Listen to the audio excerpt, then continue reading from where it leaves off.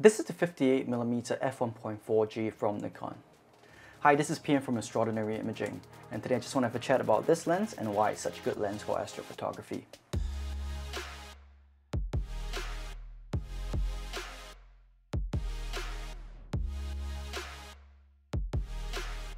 The 58mm focal length is not one that you might have used that much for astrophotography. It only comes with a 41 degree diagonal field of view, so you're not going to capture that much of the night sky in a single frame. You probably want to do panoramas to capture a decent field of view.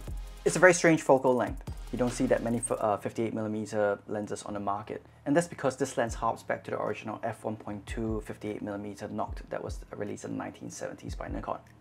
And that lens was designed to be a night lens. That's why it's called a Noct short for nocturnal.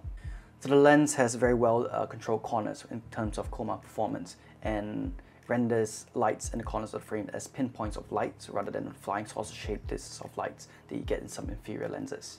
A bit about the lens itself, it has 9 elements in 6 groups. It weighs 385 grams. It comes with a 72mm front filter thread, uh, two aspherical elements and a nanocrystal coated element as well. It comes with a rear a metal mount and a rear gasket to prevent some dust from getting in. The front element is recessed deeply in uh, the lens and so the lens acts as a uh, lens hood uh, by itself so you don't really have to use a lens hood with this lens. Anyway, about the performance of this lens, this is not a sharp lens by any means. So the 51.4G and the 51.8G from Nikon are significantly sharper than this lens wide open.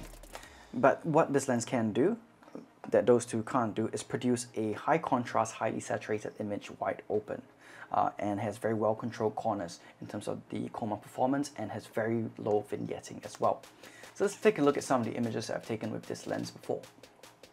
This is a 104 image panorama of the Milky Way captured at the Pinnacles Desert in Nambung National Park, Western Australia. Shot settings were 10 seconds per frame, ISO 3200 and wide open at f1.4. The entire panorama stitched without an issue. I put that down to the good vignetting performance of the lens. Wide open, the corners aren't really that dark. And the chroma performance is really good as well, so it relieves a lot of stress on the stitch software.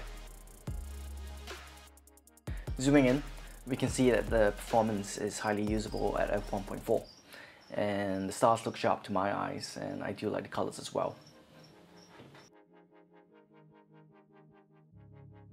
And this is a center frame of the panorama and if we zoom in on the corners we can see how good the corner performance really is compared to something like the 35mm 1.4 art.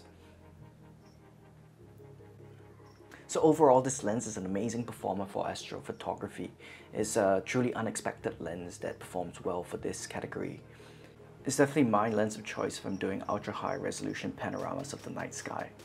It has great contrast and saturation, and really good vignetting and chroma performance. And that's everything that I need in a lens for astrophotography.